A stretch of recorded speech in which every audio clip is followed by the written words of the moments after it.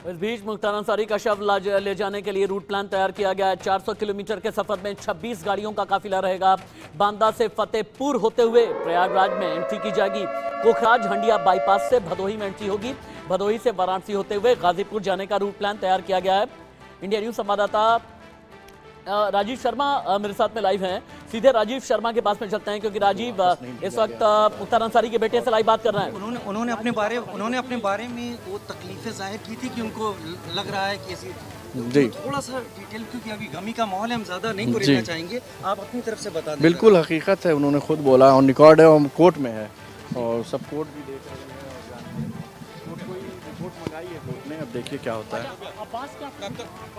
क्या आज ही सुपुर्द के सुपुर्द रोल के लिए डाला जा रहा है उनके सुपुर्द खाक करने की तैयारी? अभी इस पे नहीं कह सकते।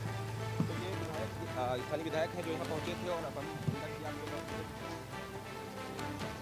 अ, राजीव मेरे साथ में है। राजीव हम देख पा रहे हैं कि मुख्तार अंसारी को जानने वाले मुख्तार अंसारी की फैमिली के लोग भी आपके संपर्क में आते जा रहे हैं। एक्सक्लूसिव आपने इंटरव्यू दिखाया है।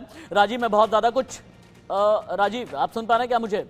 राजीव अफजाल अंसारी के घर पर भी इंडिया न्यूज़ है। मुख्तार अंसारी के भाई जी, के जी, घर जी। से लाइव रिपोर्ट हम दिखाएँ उससे पहले राजीव शर्मा के पास चलते हैं। राजीव अभी गाजीपुर में क्या चल रहा है? हमने देखा मुख्तार अंसारी की फैमिली आपके साथ में है। बात करने की कोशिश करें। और टीवी पर आप देख पा रहे हैं कि बांदा से अभिषेक भी मेरे साथ में लाइव जुड़ गए हैं। राजीव कंटिन्यू करें।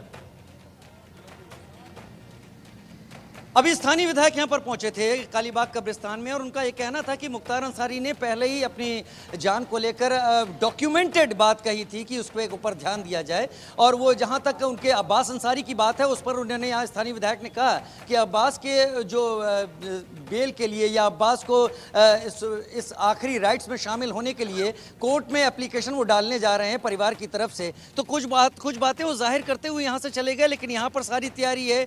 अब शाम करीब साढ़े सात से आठ घंटे का वक्त लगता है बांदा से यहाँ तक आने में। अगर सारी प्रक्रिया मिलाई जाए तो रात में दस बजे तक का यहाँ पहुँचने का समय लगता है। फ़िलहाल घर पर भी लोग हैं और यहाँ पर भी लोग हैं। राशिद।